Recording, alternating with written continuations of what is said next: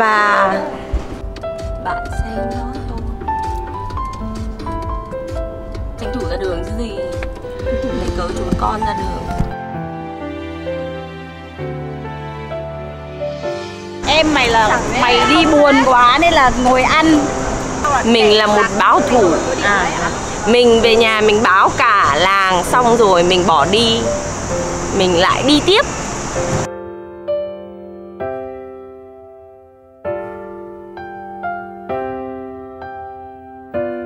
ngon bạn ạ vân thử hút thử đây. Đừng có dính mồm mà. Ngon à ừ. ừ. Đâu ăn ăn thử cái kem này bố ạ Hôm qua chồng con mở tủ lạnh ra. Con thỏ nó để một tủ lạnh kem. Hiểu nó mua để làm gì. Chúng tôi vào tạo mua mà. Mày cũng thế. Ờ, Bọn tao nào bọn tao- tao lựa mà. Tại vì con Thủy bảo là Chị ơi bây giờ uh, cái gì? Kem này bọn mình mua không cần phải nhìn giá nữa đâu chị cứ lấy đi. Ờ.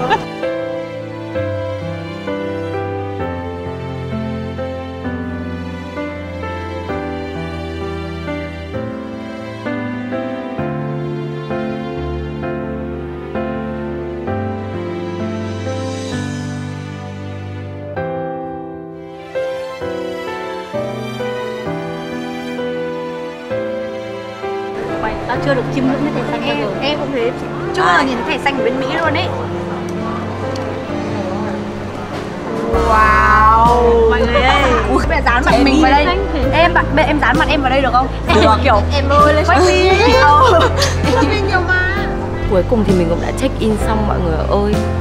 Thật là mệt mỏi Vì mình có quá nhiều đồ ấy Lần sau mình sẽ không mang nhiều đồ như thế nữa Bây giờ thì mình sẽ ngồi chờ và khoảng một tiếng nữa thì mình sẽ lên máy bay.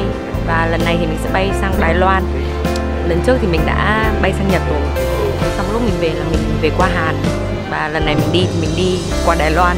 Kiểu mình đi khắp nơi luôn đấy mọi người. Ok, Hẹn gặp lại mọi người trên máy bay nhé. Chắc mọi người cũng thắc mắc là tại sao mất bao nhiêu lâu như thế thì mình bắt đầu mới dựng được cái vlog này. Kể từ khi mà mình bắt đầu học cách trưởng thành thì mình đã tạo ra cho mình một cái nút nguồn. Mình thường tắt tất cả những thứ làm cho mình cảm thấy bị tâm trạng, bị buồn bã và không nhìn lại nó nữa cho tới khi mà tâm trạng của mình ổn định trở lại.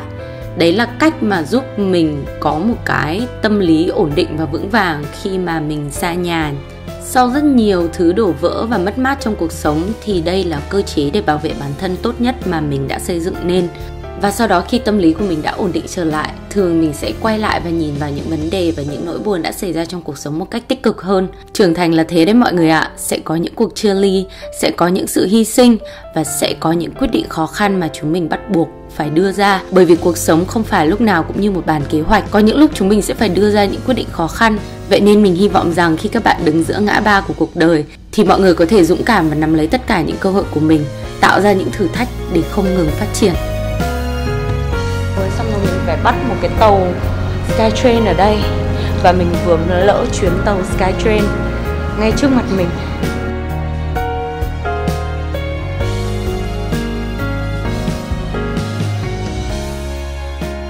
Đây là lần đầu cũng như là lần cuối mình transit ở sân bay ở Đài Loan. Tại nó, mọi người có biết nó to như thế nào không? Mình đi từ cái máy bay của mình tới chỗ này là cái cổng bay thứ hai của mình mà nó mất gần một tiếng đồng hồ kiểu mình xuống lúc 9 giờ và bây giờ là 10 giờ 25 phút một tiếng rưỡi để mình đi từ cái cổng này sang cái cổng kia. Kiểu chết mệt ở trên đường ấy xong rồi kiểu mình không có sức để thở nữa luôn đấy mọi người. À, tay chân mình đang run lẩy bẩy tại vì mình quá mệt ý mọi người lúc nãy mình kiểu mình kiểu quá mệt ấy mình không thể nào mà bê hành lý của mình xuống được. Mình phải bê hành lý của mình xuống một cái cầu thang cao như này này mình mệt quá ấy. Mình không thể nào mà mình bê xuống được, thế là mình đứng giữa cầu thang. Xong kiểu tay chân mình nó run ấy. Thế xong rồi có một cô người Trung Quốc, cô ấy mới ra, cô ấy bê hành lý của mình. Cô ấy bê hết từ trên đấy xuống, không cần mình phải kiểu bê hộ ấy. Mà cô ấy bê hộ mình cái hành lý của mình xuống dưới luôn, xong mình kiểu, mình đứng ở đấy mà mình kiểu muốn khóc luôn ấy mọi người. Đúng kiểu là một mình ở một nơi mà cũng không biết làm nào ấy. Xong tự nhiên có một người giúp mình ấy.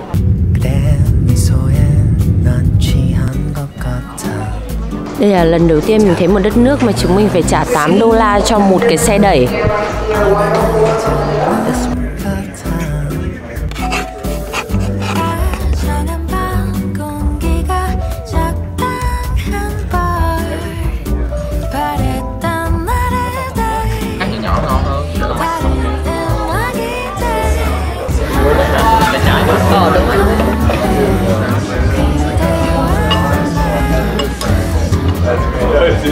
nói một cái thằng ấy hay là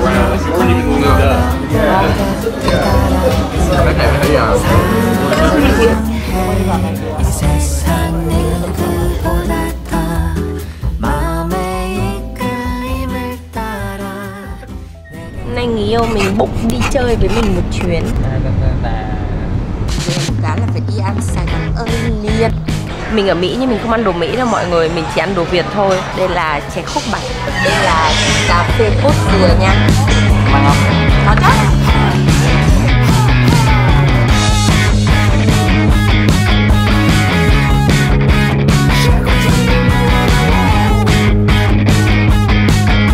cái đoạn đường này nó gọi là 17 miles mình không biết là có đúng là nó là 17 miles không, nhưng mà nó sẽ đi, kiểu, vòng quanh cái khu này ấy.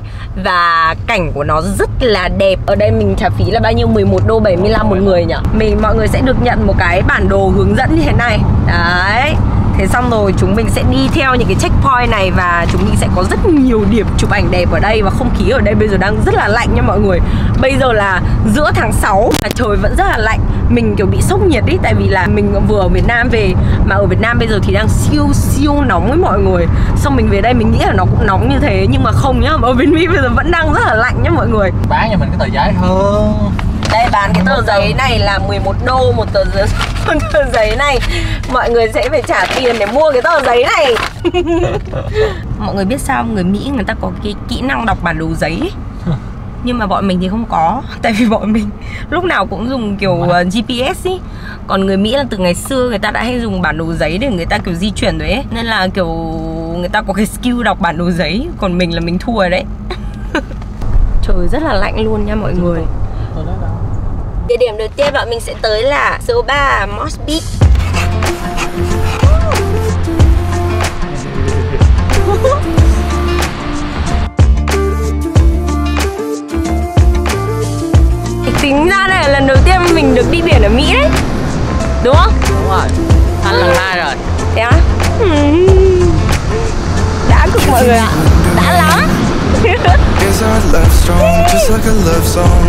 it's haunting me.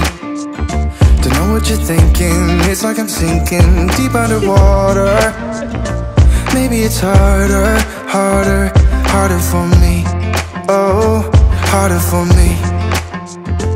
Maybe we're over it. Or maybe just lovers, cause under the covers, baby, you're showing me. Fearless, so no one can hear us. You're throwing the pillars through the floor. Now put your loving, loving, loving on me. Eh, loving on me. Maybe you won't see me get emotional. And sometimes I pretend I'm just above it all. But I want you lying next to me. Yeah, I want your body, body, body too. Mình không biết là nó đẹp như thế mọi người đẹp lắm ý.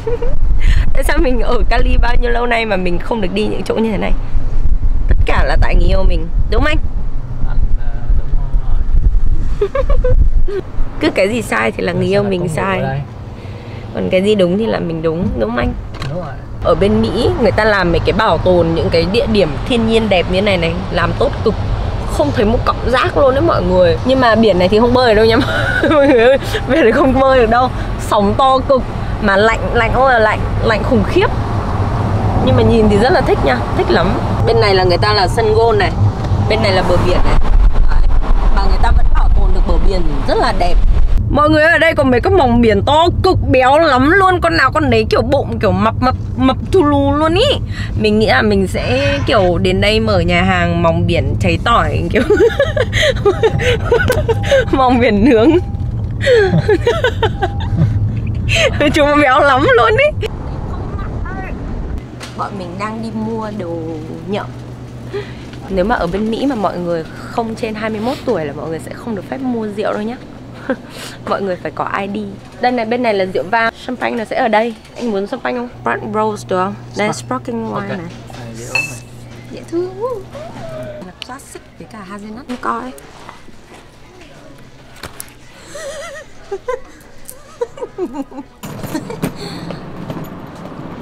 Đi sọc không cứ anh ở lại tối đi bo luôn. Thế xong mất cái xe đạp ở bên Úc. Về mất. Chỉ vì đi bar. Đúng rồi. Rồi. Để after hours. Got you. And then I'm gonna take a picture of the key. I'll try not to pose, you know. it's okay um, breakfast is included in your rate.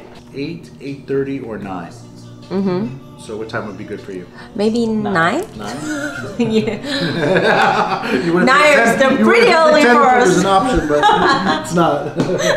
Trời vẫn sáng nhưng mọi nơi đều đã nghỉ Vì thật ra bây giờ đã là gần 8 giờ tối rồi Cái nhà hàng Thái mà bọn mình muốn ăn nó còn đóng cửa rồi cơ Xong nó bảo là nó không phục vụ ăn tối Mà nó chỉ ờ, phục vụ to go cho bọn mình mang về thì được. Xong rồi bọn mình kiểu Cái Monterey này người ta Người ta buổi tối không có gì làm à? Kiểu tất cả mọi người đều đi về vào buổi tối và không làm gì à đây là một vùng đất quái gở. Nơi mà ban ngày thì đẹp, Nhưng mà buổi tối thì khủng khiếp buồn. Thế xong rồi, kiểu, cái khách sạn bọn mình ở Buổi tối nó cũng đóng cửa vào lúc khoảng 10 giờ. Bọn mình sẽ phải tự mở cửa để vào Và người ta cho mình một cái chìa khóa ở ngoài. Thế xong rồi cái rooftop bar cũng đóng cửa vào 10 giờ tối. Rooftop bar mà đóng cửa vào 10 giờ tối. Em ơi, kiểu, Cali giờ giới nghiêm khá là chặt chẽ So với những nơi như kiểu New York đồ các kiểu. Chính phủ thì bắt đi làm đóng thuế đúng nhiều, Nhưng không cho dân đi chơi vào buổi tối để nghỉ ngơi. Đây là tư bản. 10 giờ tối bắt người ta đóng cửa. Thế xong rồi lúc nãy bọn mình còn trêu ông chủ khách sạn là 10 giờ tối đóng cửa thì thì rooftop bar cái nỗi gì ấy. Sau ông bảo là ừ chào mừng mày đến với Cali. Tao là dân New York nên tao cũng không thể hiểu nổi điều này đâu. Em nó buồn lắm luôn đấy mọi người Buổi tối ở đây buồn lắm luôn ấy. Đây mình cho mọi người xem. Không phải ở nơi nào trên nước Mỹ nó cũng giống như là các bạn xem ở trên mấy kênh kiểu TikTok rồi YouTube. Cuộc sống kiểu thác loạn đâu nhá. Đây là cuộc sống ở đa phần những cái thành phố ở nước Mỹ mà không phải những thành phố lớn. Thấy chưa? See? Ủa alo người Mỹ ơi, các bạn ở đâu vậy? Cho tôi thấy một cánh tay của các bạn đi nào. Đây mấy thành phố nhỏ của nước Mỹ nó sẽ như thế này đấy mọi người. Mọi người biết là mình vừa trở về sau một chuỗi à, ngày dài tiệc tùng ở Việt Nam đúng không? Thế nên là khi mà về đây mình rất là thắc mắc là người Mỹ buổi tối người ta làm gì nhỉ? Đến giờ mình vẫn không thể nào mà hiểu nổi cuộc sống của người Mỹ vào buổi tối ấy. Nó sẽ như thế nào ấy Người ta đi ngủ vào lúc 9 giờ à Không thể hiểu nổi luôn ý Nhìn mấy quán bar của người ta buồn bã cực Trông buồn lắm ấy. Bây giờ là khoảng 8 giờ tối nhá. Mình thấy là ở đây ban ngày kiểu nó vui vẻ và đẹp đẽ bao nhiêu thì buổi tối nó buồn thảm bấy nhiêu. Nhìn mấy cái phim người ta chiếu này Đây là dạp chiếu phim ấy trông như kiểu bỏ hoang ấy. Khu vực mà trông có vẻ như là vui vẻ nhất đấy. Vui nhất sai rồi đấy. With the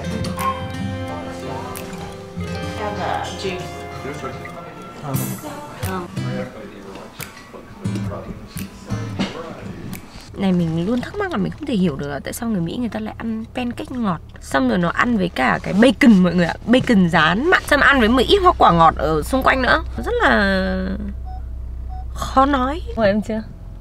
Nó đổi màu đấy. Chứng tỏ là nhìn tia UV mạnh phết. Mà rõ ràng trời không có một tí nắng nào nhá. Mà kính của em nó tự động đổi màu Chứng tỏ là tia UV rất là mạnh. Rất là mạnh đúng rồi mỹ.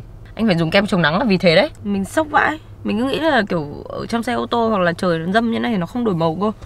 Nó ra tia UV rất là mạnh luôn ấy hôm nay trời kiểu siêu lạnh nhá âm u không có một tí nắng nào.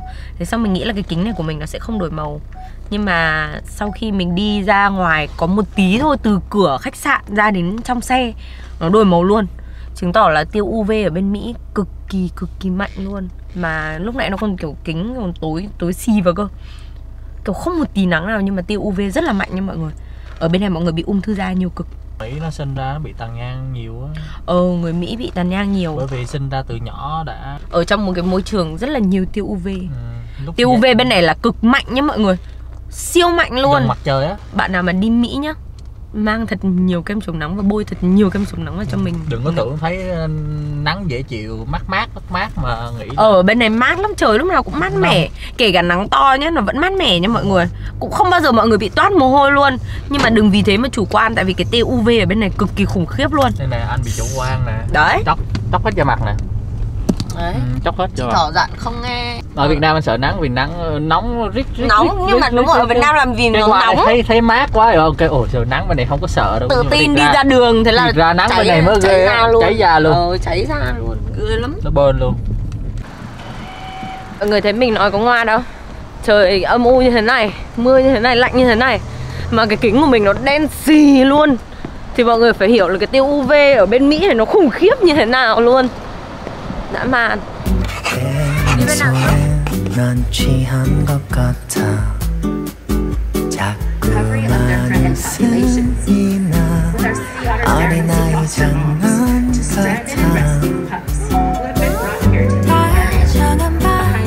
ở đây là hệ thống nước biển được bơm vào và bơm ra ấy mọi người. Này để nuôi cái aquarium này hay vãi. Thank you Có thấy con gì không anh? Ở đây nhiều chim lắm này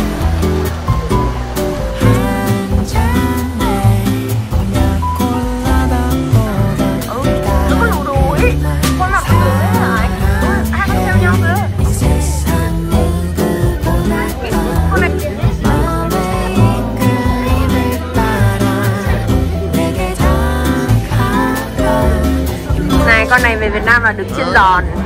Con này là lẩu cá. Mà Em sẽ nướng. Nướng bọc giấy bạc. Anh thấy sao? ống cha không đang đang chơi ống cha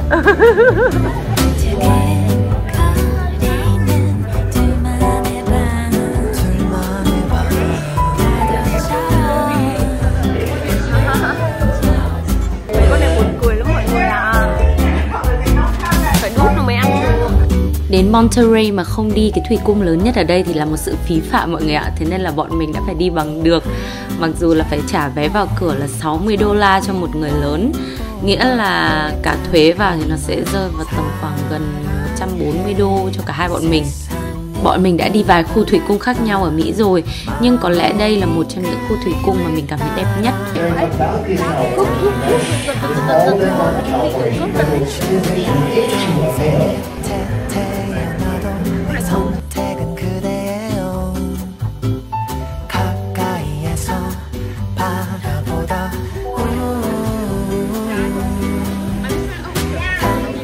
Vịnh Monterey là một nơi có cảng biển và có bờ biển rất là đẹp. Nơi này thì được biết đến bởi hệ sinh thái biển đa dạng, thế nhưng mà mình thấy điểm đẹp nhất ở Monterey là những cái kiến trúc xưa cổ và đã được bảo tồn rất là nhiều năm qua.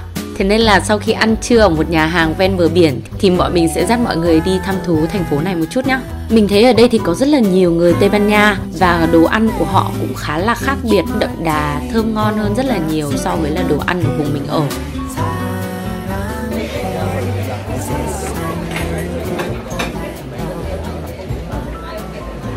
Cái này là honey từ các loại hoa khác nhau anh ạ Clover, windflower, orange Are those taste different? Yes. Oh really? Yes. That's this one's funny. a wildflower. Mình phải ăn thử nó mọi người ạ Mình đã có một tờ báo để tí chúng mình có thể chụp ảnh Hôm nay mình đã ăn mặc khá là hợp với chỗ này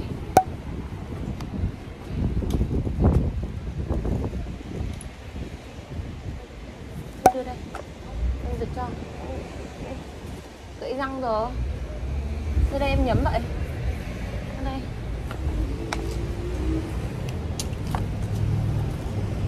nó cứng quá. Ừ. Mình vẫn chưa cắn được nó mọi người ạ. Thấy snack kiểu gì.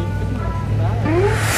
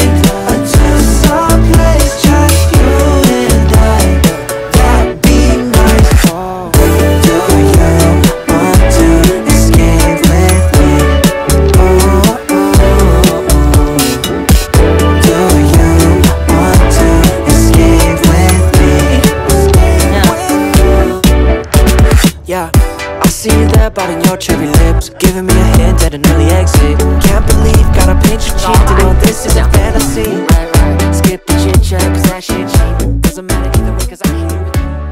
Mình nghĩ là mình đã từng nhìn thấy rất nhiều bộ phim có sự xuất hiện của cái cảng này rồi Nhưng mà mình không biết là phim gì Nhưng mà nhìn nó quen lắm mọi người ạ Kiểu mình đặt chân đến đây lần đầu tiên nhưng mà mình vẫn thấy nó quen ý Mình không biết là nó xuất hiện ở trong phim nào nữa Đẹp vãi Đẹp nhở?